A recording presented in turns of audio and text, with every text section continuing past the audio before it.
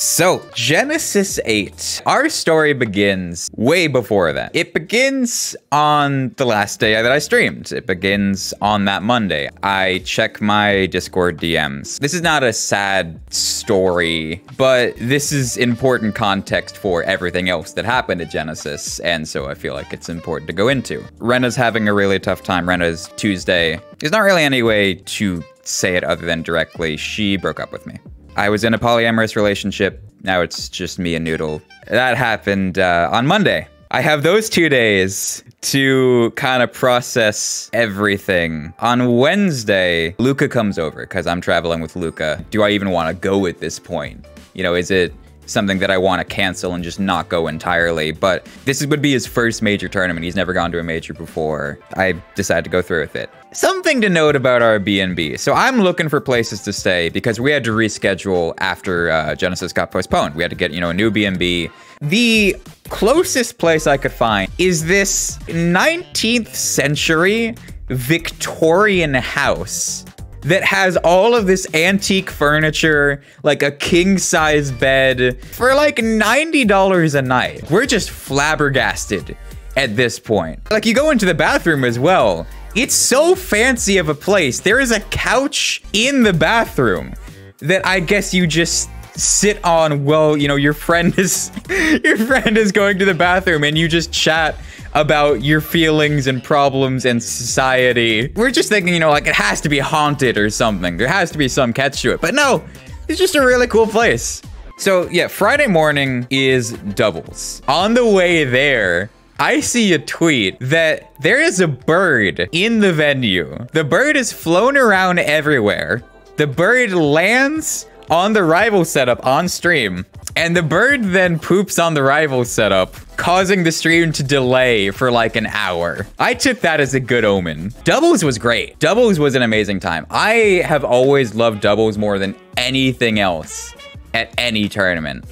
Team with Zaro, we got some good wins in there. Zaro is an amazing doubles teammate to have. And especially considering we never practice doubles, like it's literally just we go to the tournament. Hey, so you want to win? Yeah, sounds good. Last Genesis we won. This tournament we got second after beating Cake Penguin. That's that's a win. So doubles is done. Singles comes after that. At this point, like I'm not even sure what I want to do for singles. Like, do I want to play Wrastor? Do I want to play Kragg? Anti's even asking me like, you know, who are, who are you going? And I'm like, I don't know. I have no clue. But he mentions that he wants to run back on my Wrastor specifically. So I say, all right. I go up there, fight Anti with my Wrastor. Decently close the first game from what I remember. Although my keyboard my damn keyboard disconnects like twice during our set. I had so many keyboard issues during Genesis. Get some cool Wrastor combos. Close it out 3-0. I qualify out of my pool winner side. Saturdays where things start to feel a little bit better. I have my workshop pool. I, workshop's really fun for me. I was like labbing the hell out of Anglara. Played more Anglara than Wrastor or Kragg or anything specifically to practice because I wanted to win workshop. Now the Penguin set is really interesting because before any single workshop bracket that I enter, I go over every single character. And along the way, along, you know, my discoveries of everyone else, I try out Maverick. He seems really easy. Like it wouldn't be hard to have him as a pocket pick.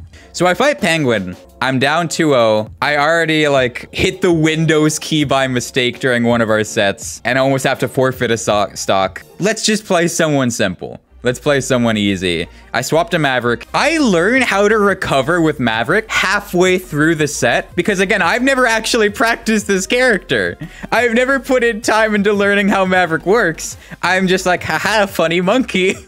and so I'm just I'm just mashing random buttons. You can actually see me. You can actually see me the first time I press down special. I'm like, oh, oh, okay. I do like the FGC nod. Like, yeah, that's how that works. I bring it to game five. Penguin pulls out the Olympia, and going into this bracket, Olympia is like, everyone knows she's broken. She's the character where it's like, yeah, if you want to do well, just go Olympia. I get a decent lead, and I hit the Windows key again. Now, the first time I hit the Windows key in this set, Penguin's like, oh, it's fine. We'll just reset. I'll taunt, and then we're good. The second time, Penguin's in the middle of comboing me, and he's like, yeah, you take that one. No chance. You take that one. So I'm like, yep, yeah, whatever. ISD, and he almost brings it back. Like he almost wins the entire set off of that one SD, and it goes to last hit, last stock. That was my favorite set of the entire bracket because I'm literally just no clue mashing with this stupid monkey character. And it ends up reverse 3 0ing Penguin over the character I've spent so long practicing and laving and putting time into. So that gets me into winners finals. I have to fight Soul Rifle. I thought I had, you know, a sense of how bad it was gonna be. I figure, you know, you know, I can hold my own with Anglara. That'll be fine. No. No, no, no. That was the biggest misread I've had in such a long time where it's like, yeah, she's good, but like, she's not that bad. It'll be fine. It was not fine. It was not fine. I get absolutely demolished these bullshit zero to deaths. I can't do shit about. And I end up with third in workshop, which it's third place. I'm used to that. After workshop ends, that's the point where like all of the brackets that I'm excited for, it's all over now. The MSB set happens. I'm thinking, how can I make this as fun as possible for me? How can I just not care, have a good time? So before the set starts, I'm thinking, all right, what if I just went Shovel Knight and try and get one Horn kill? So the set starts, it was actually fairly close up until I bought Horn and started fishing for Horn every single time, and he would just wait outside the range and kill me for that. And so I knew at that point, like, this strategy is not going to work. The plan is falling apart. What else can I do? You know what else takes zero, zero thought? Spamming Nair with Kragg. I three stock MSB in the Kragg Ditto by using like 80% Nair. And so I want to go Mollo. I want to, you know, play Mollo because I've played a little bit of them. I think it'd be fun. I hover over Mollo on the character select screen. MSB says no, reaches over to my keyboard, deselects Mollo for me, and says, no, you're not doing that here. So I say, all right, all right, fine. And I go random. I take him to last hit. He ends up closing it out. I go into loser side. So I have to fight Cake for ninth, which is wild in its own right. But at that point, like, again, I'm at the point where I don't want to stress about it. I'm reporting my scores to George, and he's like, yeah, keep winning, keep doing it. I'm like, I don't want to. I don't want to win anymore. I want to go home. He wins 3-0. Ninth place. That's pretty good. Like, Sego and ZV got ninth. That's not a bad placing. I've never placed lower than ninth in my entire career. Literally not once have I placed worse than ninth in a major. So I'm happy with that. That's a pretty good record, all things considered. I've already proven I'm still a top player in this game. Like, Heatwave, I beat Zaro, I beat Penguin. I had good sets with ZV and Cake, who are like, you know, four of the best players in the game right now. I've shown that I can still do it. And Heatwave answered that question for me. I didn't go to Genesis to answer this question, but Genesis kind of answered the question of, do I really want to do this anymore? Like, do I enjoy singles? Do I enjoy that part of competition? Is it worth going to tournaments for that for me? I have always enjoyed, you know, commentary, doubles, workshop.